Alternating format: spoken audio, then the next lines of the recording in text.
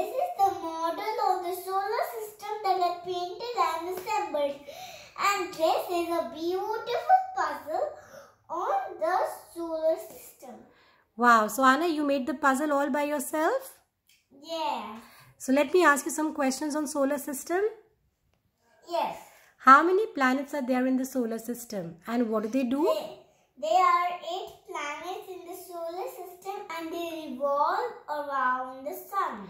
So is Pluto a part of the solar system?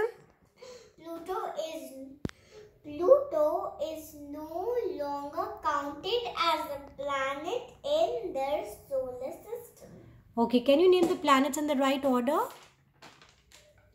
So it's Mercury, Venus, Earth, Mars, Jupiter, Saturn, Uranus, Neptune. Lovely. So what is the sun? The sun is a star. It has a massive ball of heat and light. Wonderful. And which is the closest planet to the sun? The closest planet to the sun is Mercury. Mercury. And which is the hottest and the brightest planet of the solar system? The hottest and the brightest planet of the solar system is Venus. Venus. Which planet sustains life? The planet that sustains life is Earth.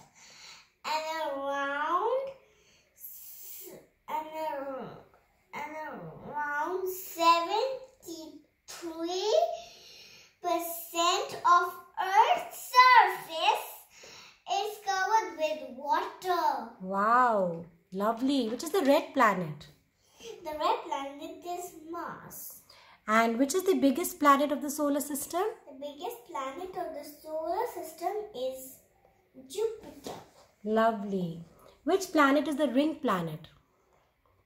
The ring planet is Saturn. Okay. Can you tell me something about Uranus and Neptune? Uranus is the coldest planet Okay. and Neptune is the windy planet. All right.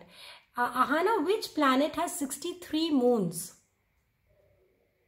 Jupiter has 63 moons. And which planet, uh, uh, maybe one year in, which planet is equal to 84 Earth years?